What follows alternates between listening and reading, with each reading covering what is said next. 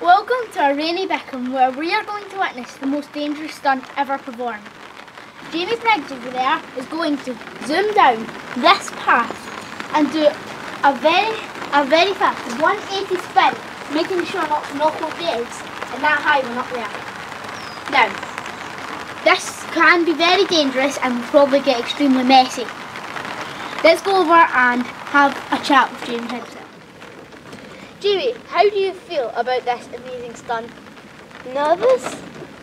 Well, that's expected, but do you think you're going to need to take a shower after this? Hopefully not. Well, we weren't expecting that, but... Well, anyway, good luck, and hope you don't get covered in eggs. Thanks. That would be funny you do. That's. Right, here we go. This is going to be amazing.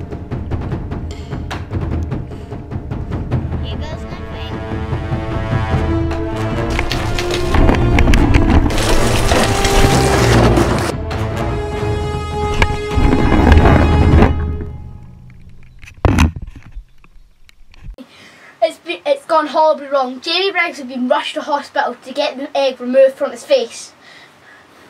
Oh, oh, okay, I'm hearing something. Oh, they're telling me something. Oh, he's completely fine. He may need a shower, but he'll be back to do some more stunts again. This is Maedoc Ferguson reporting live from Bickham.